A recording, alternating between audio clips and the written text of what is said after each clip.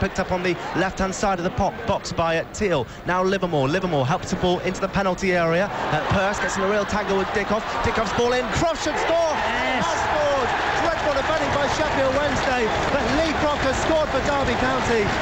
Decent finish from him. Six yards out. First goal in a Derby shirt for Lee Croft. And Derby in front after 17 minutes at Pride Park Stadium. Derby 1, Sheffield Wednesday nil. And cheering Take again.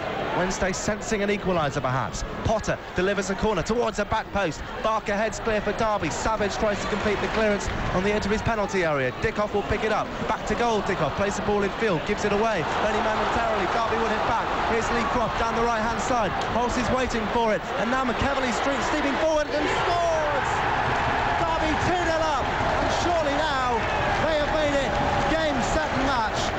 Derby with 65 minutes played have now surely wrapped up the points. Jay McEveley from the back making the run forward, strike the ball into the back of the net, quick break forward by the Rams, and it's Derby County 2, Sheffield Wednesday now. Yeah, I mean, Rob, they're all running together. I mean, Robbie Savage, I didn't know he took penalties. Rob Hulse is taking it. Come on. If Rob gonna- scores this, if Rob Hull scores this, then he scores his 100th career goal.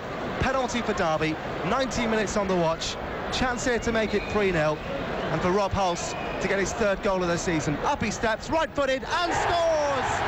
Game, set, and match for Derby.